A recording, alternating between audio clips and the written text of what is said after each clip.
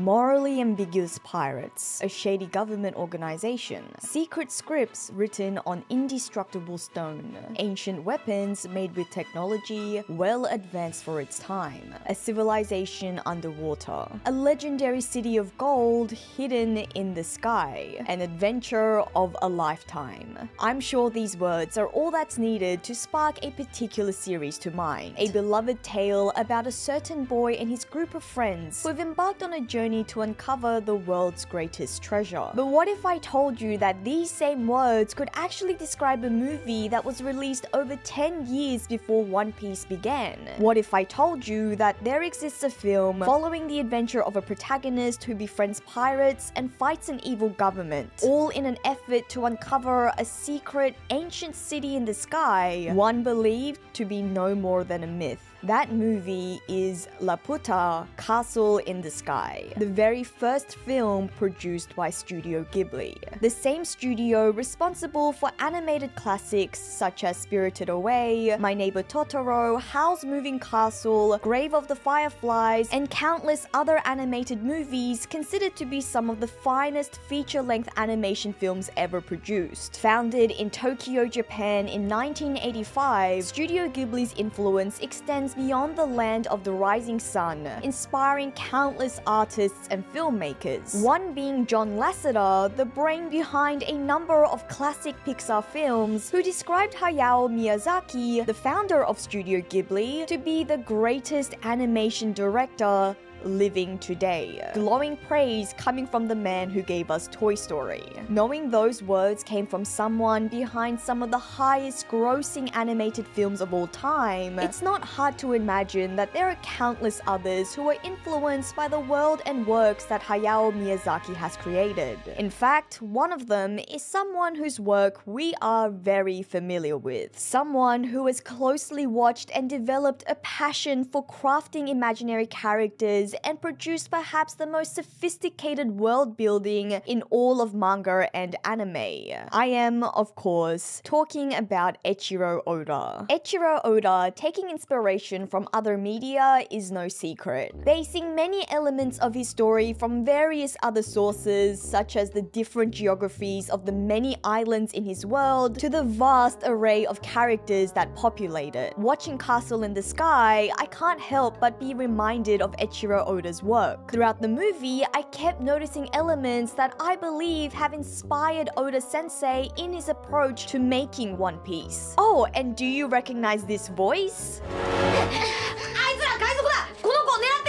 Yeah, it probably helped that the protagonist of the film just happens to be voiced by Mayumi Tanaka, the legendary Seiyu for Luffy in the animation of One Piece. Hello Manaka Matachi, this is Joy Girl, and let me share with you an incredibly eye-opening film that I watched recently, Laputa Castle in the Sky, and the many similarities it has with One Piece. And who knows, we might even come across something that may solve the huge mysteries within the series that still puzzle us today, such as the meaning of the Will of D and the location of Laugh Tale. Incoming spoilers for the movie ahead. A Studio Ghibli classic, Castle in the Sky is a 1986 film which remains popular to this day. Alongside winning the Animage Anime Grand Prix upon its initial release, it was also voted the most popular Ghibli film in 2020 after decades of numerous Studio Ghibli releases. The film follows two orphan children, Sheeta and Pazu. Sheeta is a young girl on the run from shady government agents as well as pirates, both groups who are after a mysterious and powerful crystal necklace that has been passed down her family for generations. Pazu is a young boy who works as a miner in a port town. The two meet when Sheeta falls off an airship whilst escaping from the clutches of the government and pirates. As she falls down from the sky, her necklace saves her, allowing her to float, which Pazu witnesses and then catches her before she hits land. The two then embark on an adventure as Pazu helps Sheeta avoid capture, finding out that Sheeta is actually connected to a legendary island called Laputa, a mystical land said to be full of treasures found in the sky, which Pazu's father once came across but then was ridiculed by society when he tried to tell others about what he saw. Through a series of escapades, Pazu and Sheeta end up befriending a group group of pirates finding out that pirates aren't as evil as we initially thought, whilst fighting the corrupt government agents who seek to use and control the powers of the advanced technology of the mystical island.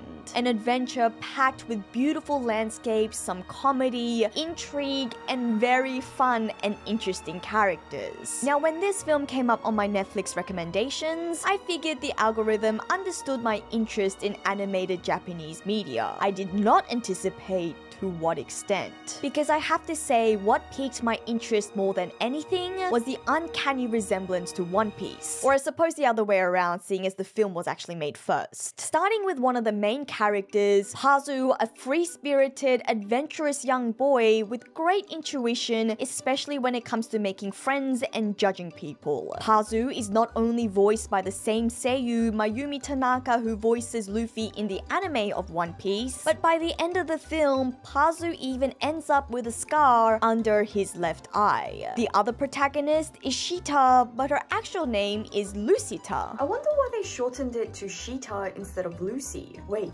Lucy? Lucita is an individual with an incredibly important family lineage that she keeps hidden alongside her full name, which would give away her fated heritage. Her family is considered a threat by the government because of their knowledge and control of the world's greatest powers. When it comes to other characters, the pirate group is headed by a matriarch named Dola, at first threatening and intimidating, but later becomes a close friend and maternal figure to the protagonist.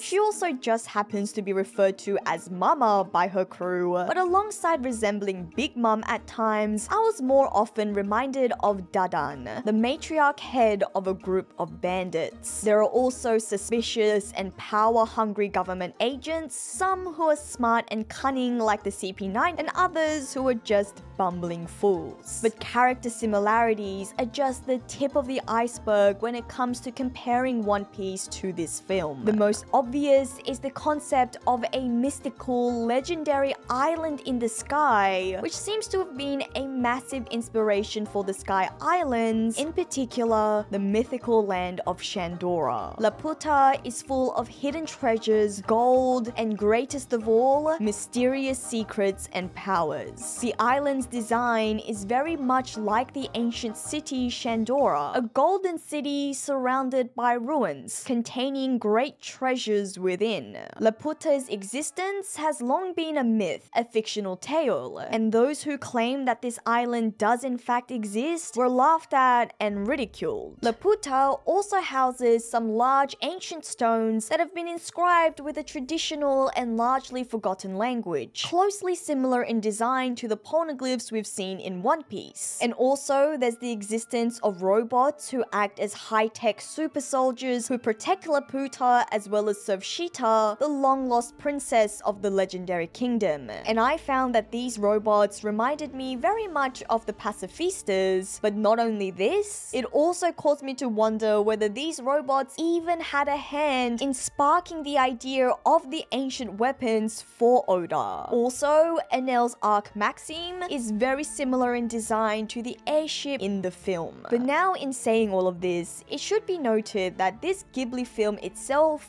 isn't completely original. Well, no media is. All artistic works are the result of intertextuality, with composers influenced by others to create their own unique work. But more specifically, in this case, Laputa is actually the name of a flying island mentioned in the classic story Gulliver's Travels by Jonathan Swift, published in 1726. And this tale is explicitly referenced in the film, with Pazu's father giving the island the name Laputa after the similarly flying island in Swift's story called Laputa. And in fact, Oda has alluded to Gulliver's Travels in One Piece as well. For example, the scene of Robin seeming like a giant amongst the dwarves in Dressrosa is a very familiar scene reminiscent of the giant on the beach from Swift's classic novel. And the map of Skypiea is also very similar to the map of Laputa from Gulliver's Travels with a main island and then a smaller island located to the northwest. And of course, we know that Oda has been inspired by countless other legends, artworks, and stories which all tie in seamlessly and beautifully to create the rich series that is One Piece. So the reason why I think this film is of particular importance is because it seems to have significantly sparked the initial inspiration for Oda in creating his story. And not only that, but we could even speculate that it's possible this film contains some answers to some of the largest secrets in the series. It's common knowledge at this point that as a young boy, through his love for the series Vicky the Viking, Eiichiro Oda held an affinity for Vikings, the original manifestation of pirates in history. But outside of Oda liking Hayao Miyazaki's animated works, a direct mention of the influence the Castle in the Sky seems to have had on One Piece doesn't receive much widespread recognition, which I think is intriguing, particularly when you consider how important this film is likely to have been in shaping Oda's story. Laputa Castle in the Sky is the first film that Studio Ghibli officially produced as an established company. It performed tremendously both in Japan and internationally, going on to have an extremely strong influence on Japanese pop culture. And it's worth noting at this juncture that this film would have come out when Oda himself was a young and impressionable schoolboy, only 11 years old at the time the film was released. A very important detail in my opinion, considering that Oda has revealed in the past that he started drawing his pirate manga when he was in year 7, which would roughly place him at around 12 years old. Eiichiro Oda starting to draw a series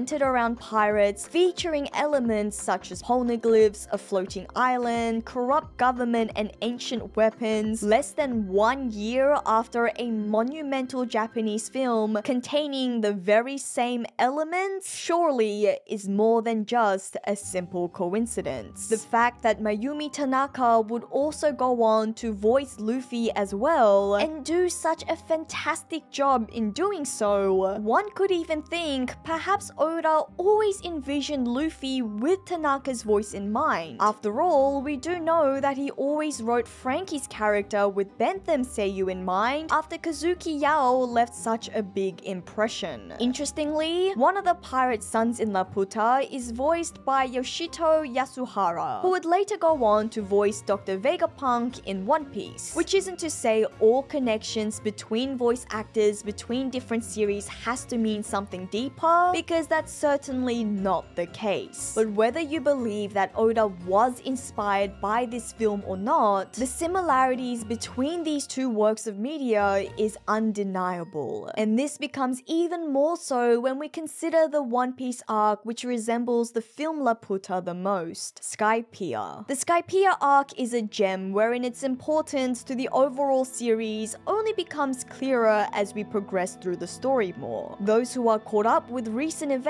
have a newfound appreciation for the arc and now truly understand the full importance of the adventure in the sky, where important legendary figures were introduced and one who will change the series as we know it. And so to see that Laputa Castle in the Sky seems to have been a very core inspiration for this arc, it only seems to strengthen this understanding that Oda has always had big plans to come out of Skypiea and has always viewed the arc as a central part of his story. Morals and themes from the film are also something Oda might have already adopted into One Piece. A central idea in Castle in the Sky is that certain powers shouldn't be used by anyone and is better off left alone. And this seems to be a core idea related to the ancient weapons in One Piece, or more specifically, Pluton. The shipwrights at Water 7 felt it necessary to leave behind blueprints to build a counter to Pluton in the event that the original weapon of mass destruction fell into the wrong hands. Who knows, maybe Luffy may find the One Piece and decide it's something better left hidden or destroyed. And while these similarities that we've discussed so far may not seem all that impressive, well, let me share some other details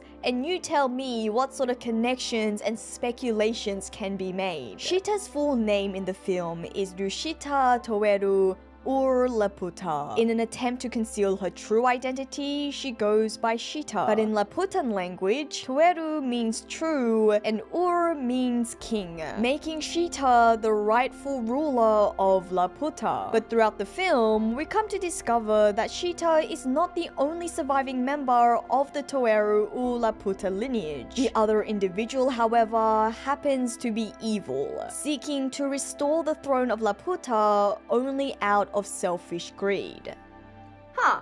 Sort of like the two types of characters who hold the D initial in One Piece. In our real world, the name Ur is also significant. Ur is actually the name of an important city-state in ancient Mesopotamia, the oldest urban human civilization in recorded history. One could even say it's an ancient kingdom. But not only was Ur the name of an important city, but this city derived its name after one of their gods, specifically the moon god, Nanna. More interestingly, Nanna is the child of two gods, one named Enlil, Enlil being the god of storms, wind, air, and earth. But also, Nanna is the father of Utu, also known as Shamash, the sun god. And in Mesopotamian mythology, the moon god along with the sun god made up two of the three gods who formed the astral triad or the pantheon, making them two of the most important deities in Mesopotamian religion. And given that we now have a sun god in One Piece, there have been many speculations as to whether we will now also see a moon god, which does seem very possible. But if this isn't enough to blow your mind, there's more. The ancient Mesopotamian civilization was very advanced for its time, having invented many concepts and technology still important today. One of its inventions was the cuneiform, a system of writing in stone much like the poneglyphs. But also, and take note, the way that Mesopotamians used to mark their gods when writing their names, such as Nanna or Utu, was through the use of a symbol to showcase their divinity. This symbol is called Dingir, the Sumerian word for god or goddess. And when this symbol is transliterated today, it looks like this. Does this remind you of anything? That's right, it's very well possible that Oda has derived the D initial from this scribe or symbol used to note gods in ancient Mesopotamia. And the idea that those with the will of D have some sort of connection to gods really doesn't seem so far-fetched given revelations we've recently had in the series with new information we have concerning Luffy's devil fruit which grants him the attributes of the sun god Nika, who in Mesopotamian religion, the sun god was also known as the god of justice. But as to whether this means the D initial in One Piece actually means Dingir is probably unlikely. After all, Dingir is a very specific term related to a very specific history. But it is certainly possible, even likely, that this has played some sort of influence in Oda's story. And this next part is what I find the most fun. We've already established the many similarities between the castle found in the sky to the ancient city Shandora, but there is another key connection that could possibly change everything. And that lies in the name of the island itself, Laputa. Say the name out loud. Laputa. Say it faster. And faster. Lobster. And faster. Lobster. Laputa, laughter. Laughter like laugh tail. Going back to my original point that no media is completely original, it might just be possible that similar to how Hayao Miyazaki used the name Laputa in reference to Jonathan Swift's novel, perhaps Eiichiro Oda naming the island Laugh Tale could be an allusion to Miyazaki's film, the final island where all the treasure and secrets of the world reside. The island which houses the One Piece. Laputa in the sky Laugh-Tale in the sky. From what we know of Laputa, is it possible that Laugh-Tale is located in the sky? Could connecting the four road poneglyphs point to the direction of the final island, similar to how Sheeta's crystal necklace points to the location of Laputa. Laugh-Tale being a floating island could explain Roger mentioning that the log posers went wild after reaching Lodestar, similar to how Zunisha was only able to be found via a Vivre card due to its constantly changing location. Laugh-Tale being an island in the sky, constantly floating and moving, could mean it's an island unable to be found via the traditional method. Laputa isn't only similar to Shandora, but may also be the inspiration for Laugh Tale itself. In fact, when we think of Shandora, we know the island was the left eye that completed the skull on the map of Jaya. But what we don't know is what happened to the eye on the right. That portion of the land was already gone by the time Mont Blanc Nolan was alive. Perhaps because it was an island that disappeared roughly 400 years prior to Nolan. An island that disappeared around the Void Century. An island that would later go on to be named Laugh Tale. If Shandora is marked with heavy imagery and themes of the sun, complete with a sun god, it makes sense that the other island could be heavily influenced by the theme of the moon. And need I remind you again that Sheeta's family name in the film is taken from Mesopotamia, the name of a city known for its connection to a specific moon god.